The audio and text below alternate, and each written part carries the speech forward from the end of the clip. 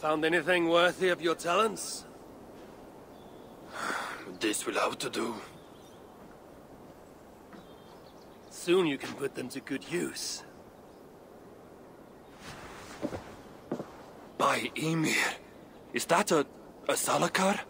I never knew they actually existed. I know all the sagas of your people, yet I've never heard I never said my people. You mean the Light Elves? There aren't many who remember the Children of Light, or their stories. I do. When Surtr invaded their lands, they begged me for aid. But the war with the Vanir had only just ended and I was... wary. Long after, I learned how Surtr devoured the elves in mortal light, Hugr by Hugr. Maybe it's the same light that now allows him to renew himself after death. During the conquest, he must have uncovered knowledge of the Salakars. But to what end? What Hugers does it hold? Those of two warlords. One a Muspel, the other a Jotun. Nothing more. Nothing more. At least not of value. He speaks the truth.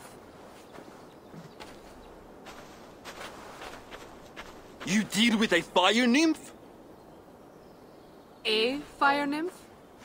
I am the finest fire nymph in all of Svartalfheim. Allow me to introduce Asa, treasonous daughter of Surtr, and my friend. You grow dewy-eyed in your dotage. What have you unearthed? Only rumors. My father is rebuilding something large and powerful. Though its exact nature I cannot fathom. And the Salakar is intended to be part of this. This something. Most likely.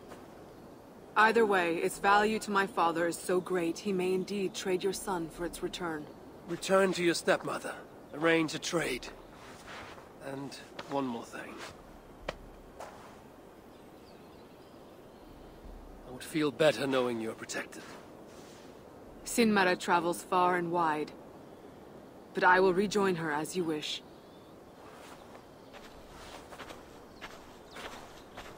Whatever the Salakar is, I must steal it back once Baldur is safe. Why? Ragnarok comes. I've made plans, but they are not ideal. Perhaps the Salakar offers another way. One that will allow me to truly save those I care about. Even you. Mm, to unlock its secrets, I will need help.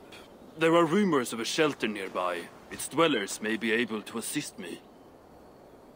Ah, I know the place. Home to the most ill-tempered shits imaginable. Tell them I sent you. No dwarf would give up the chance to work with Ivaldi. Vangrin was once home to your rivals, Sindri and Brokkr.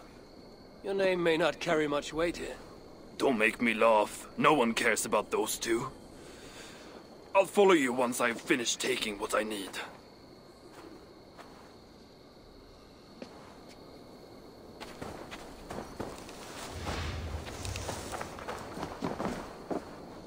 Perhaps I should take another peek at the Salakar. Ah, damn it. Better not.